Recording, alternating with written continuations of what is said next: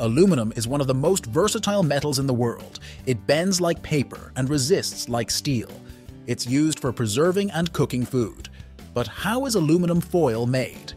In this video, we will discover how millions of tons of ore are processed to produce rolls of aluminum foil. Aluminum foil was invented by the American company Reynolds Wrap in 1947 and was originally used to wrap chocolate bars.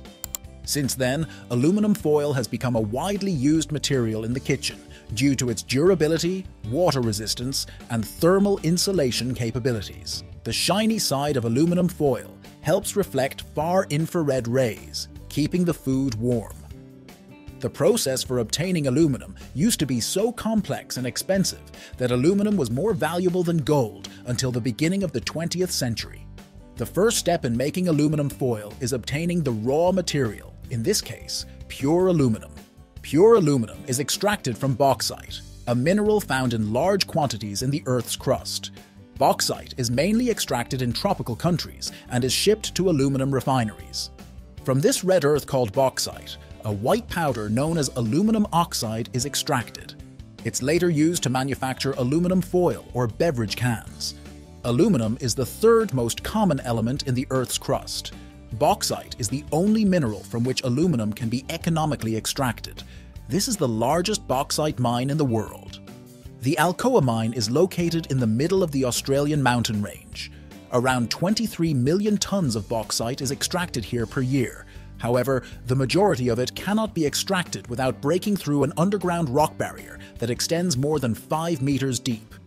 The excavator handles a daily movement of 7,000 tons of bauxite.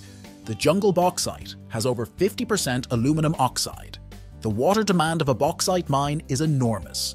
Water is directed to huge washers where clay and other low aluminum components of bauxite are removed. Now the trick is to separate aluminum and oxygen from the rest of the bauxite components. This involves grinding the mineral into powder. The finely ground bauxite is transported in freighters to aluminum refineries for further processing. The aluminum atom in bauxite is bound to oxygen molecules. These bonds must be broken through electrolysis to produce pure aluminum. Next, through a chemical transformation called the Bayer process, alumina is extracted, which will later be heated to remove all moisture. The crushed mineral is transported to facilities like Alcoa's refinery.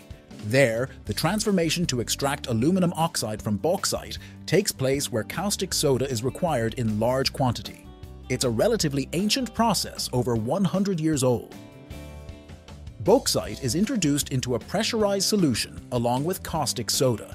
The bauxite powder is mixed with the caustic fluid, which separates aluminum oxide from mud, resulting in a concentrated solution of aluminum oxide. And here's the amazing part. The solution is dried and transformed into a white powder called alumina. This white powder is the starting material for countless applications, but it's primarily used for the production of metallic aluminum. The loader fills ships with up to 70,000 tons of alumina.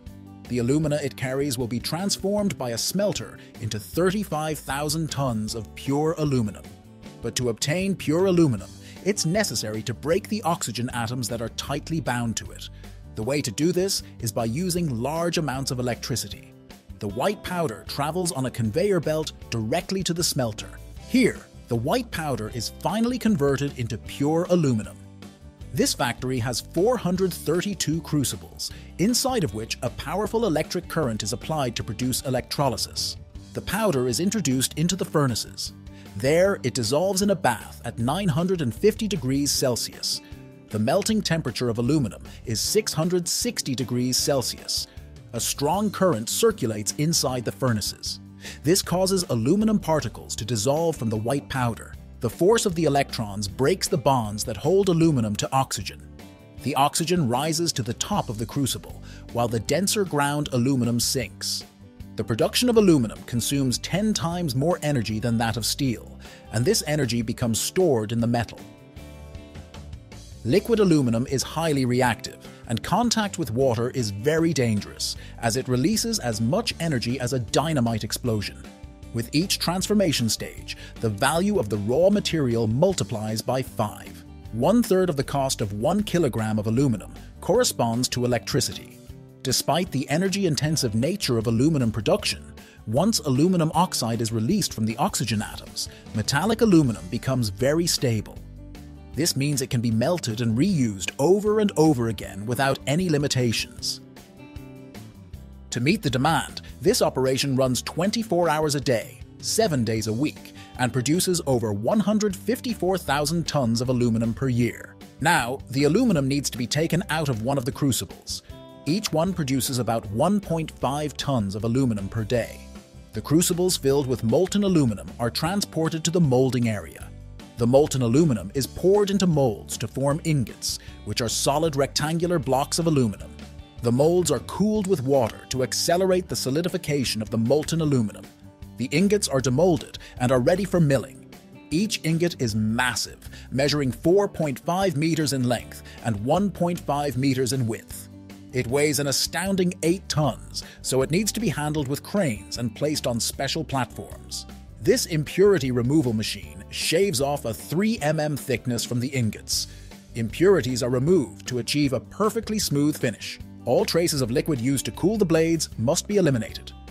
Next, these aluminum ingots are sent to factories that produce aluminum foil. The manufacturing of aluminum foil requires the repeated thinning of a large aluminum block.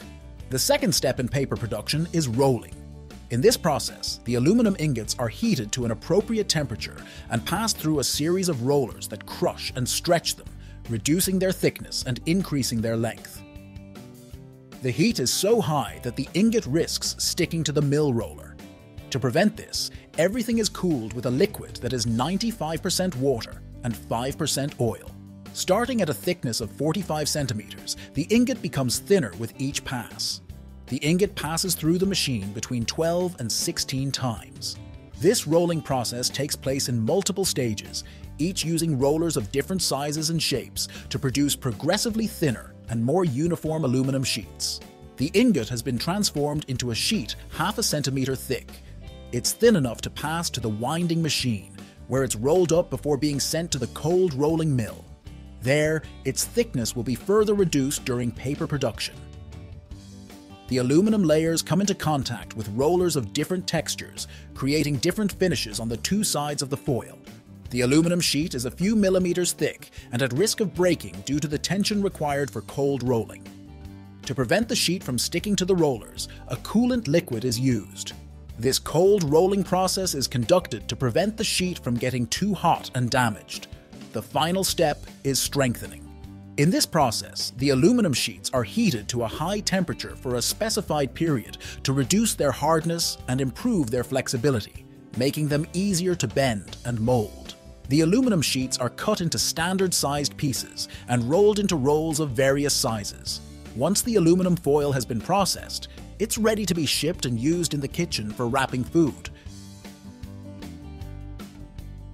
If you want to know how sugar is made, watch the video on your screen, and please like the video if you enjoyed it and share it with someone who might be interested. Also, subscribe to this channel by activating the notifications to continue learning. Thanks for watching.